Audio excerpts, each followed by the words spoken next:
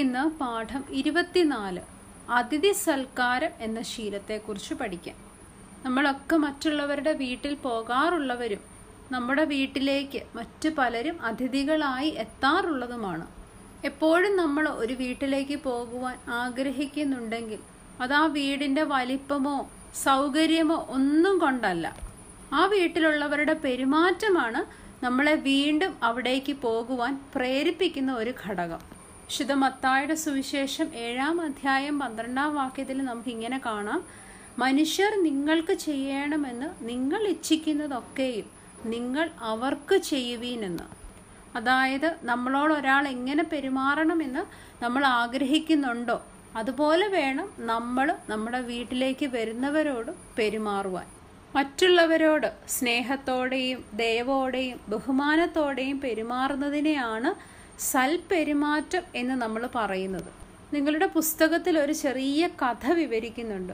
ഒരു ദിവസം ഉച്ച കഴിഞ്ഞ് മാതാപിതാക്കൾ അവരുടെ പതിനൊന്ന് വയസ്സുള്ള മകൾ സൂസനെയും എട്ട് വയസ്സുള്ള മകൻ രാജനെയും വീട്ടിലാക്കിയിട്ട് അവരുടെ സുഹൃത്തിനെ സന്ദർശിക്കുവാനായിട്ട് പോയ കഥ. ഇവർ പോയതിന് പിന്നാലെ അവരുടെ കൊച്ചമ്മയും അവരുടെ ഭർത്താവുമായിട്ട് ഈ വീട്ടിലേക്ക് വന്നു. ഈ സമയത്ത് സൂസൻ അവളുടെ ഹോംവർക്ക് ചെയ്യുകയായിരുന്നു. രാജനാണെങ്കിൽ പുറത്ത് ക്രിക്കറ്റ് കളിക്കുകയുമായിരുന്നു. അവരുടെ കൊച്ചമ്മയെയും അങ്കിളിനെയും കണ്ട മാത്രയിൽ അവരോടിച്ചെന്ന് അവരെ കൊണ്ടുപോയി സ്വീകരണ മുറിയിലിരുത്തി. എന്നിട്ട് അവരോട് അവരുടെ വിശേഷങ്ങളൊക്കെ ചോദിക്കുകയും ഇവരുടെ കാര്യങ്ങളൊക്കെ അവരോട് പറയുകയും ചെയ്തു. സൂസൻ ഇതിനിടയ്ക്ക് അടുക്കളയിൽ പോയിട്ട് ചായ ഉണ്ടാക്കി അലമാരയിൽ കേക്കും പഴവും ഒക്കെ ഉണ്ടായിരുന്നു. അതുമായിട്ട് വന്ന് ഇവർക്ക് കൊടുത്തു. സൂസൻ ചായ എടുക്കാൻ പോയ സമയത്തൊക്കെ രാജൻ ഇവരോട് സംസാരിച്ചുകൊണ്ടിരുന്നു. അങ്ങനെ കുറേ സമയം കഴിഞ്ഞ് ഇവർക്ക് പോകുവാൻ സമയമായപ്പോൾ ഇവരുടെ മാതാപിതാക്കളെ കാക്കാതെ അവർ ഇറങ്ങുവാൻ വേണ്ടിയിട്ട് ഒരുങ്ങിയപ്പോഴാണ് ഇവരുടെ മാതാപിതാക്കൾ തിരിച്ചെത്തുന്നത്. മാതാപിതാക്കൾ തിരിച്ചു വന്നപ്പോൾ അവരിവരെ കണ്ടപ്പോൾ എന്തായിരിക്കും പറഞ്ഞിട്ടുണ്ടാവുക നമുക്കറിയാമല്ലേ അയ്യോ നിങ്ങൾ പോകാൻ ഇറങ്ങിയോ? അയ്യോ ഞങ്ങൾ വരാൻ താമസിച്ചു പോയി. നിങ്ങൾക്കൊന്നും തരാൻ പറ്റിയില്ലല്ലോ. കുറച്ചുകൂടെ കഴിഞ്ഞിട്ട് പോകാം. ഇങ്ങനെയൊക്കെ അവർ പറഞ്ഞിട്ടുണ്ടാവും. അതിഥികളായി വന്ന കൊച്ചമ്മയും ഭർത്താവും ഈ സൂസന്റെയും രാജന്റെയും മാതാപിതാക്കളെ ഒരുപാട് അഭിനന്ദിച്ചു. എന്തിനാണെന്നറിയാമോ? മക്കളെ ഇങ്ങനെ വളർത്തിയതിന്.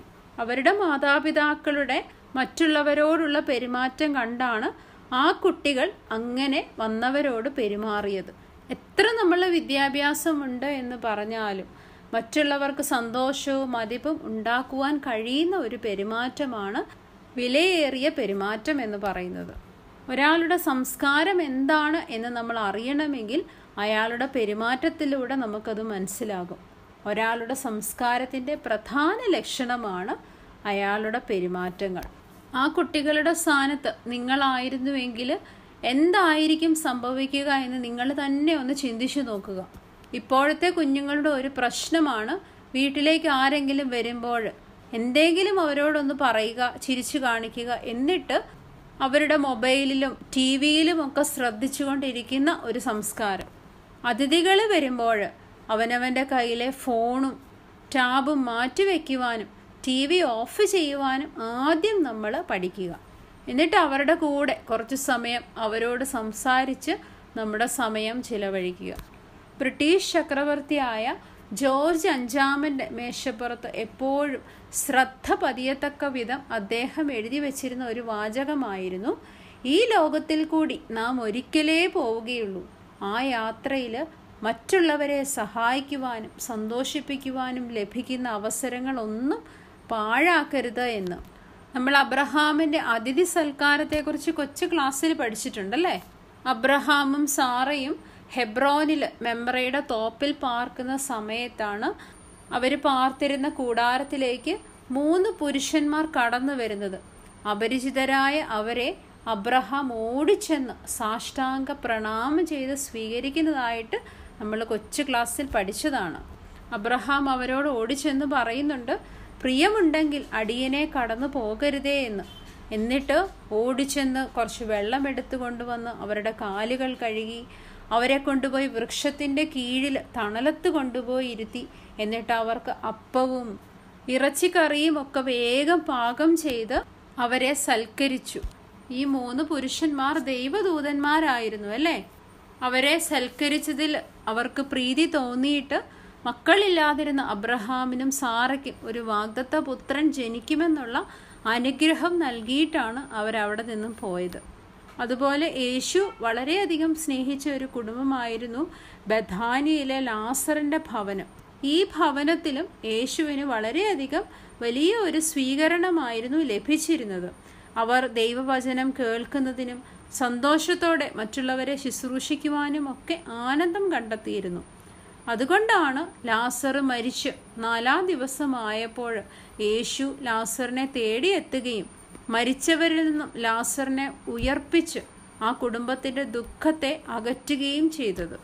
പരിശുദ്ധനായ പൗലോസ് ലീഹ ആവർത്തിച്ച് പറയുന്ന ഒരു വിഷയമാണ് അതിഥികളെ സ്വീകരിക്കുക എന്നത്. അദ്ദേഹം റോമർക്ക് എഴുതിയ ലേഖനം പന്ത്രണ്ടാം അധ്യായം പതിമൂന്നാം വാക്യത്തിൽ വിശുദ്ധന്മാരുടെ ആവശ്യങ്ങളിൽ കൂട്ടായ്മ കാണിക്കുകയും അതിഥി സൽക്കാരം ആചരിക്കുകയും ചെയ്യുവീനെന്ന് നമ്മളെ പ്രബോധിപ്പിക്കുന്നുണ്ട്. ഒന്ന് തീമോത്യോസ് മൂന്നാം അധ്യായം രണ്ടാം വാക്യത്തിൽ സഭാധ്യക്ഷന്മാരെ കുറിച്ച് പരിശുദ്ധനായ പൗലോസ് തീമോത്യോസിനെ ഓർമ്മിപ്പിക്കുന്നുണ്ട്.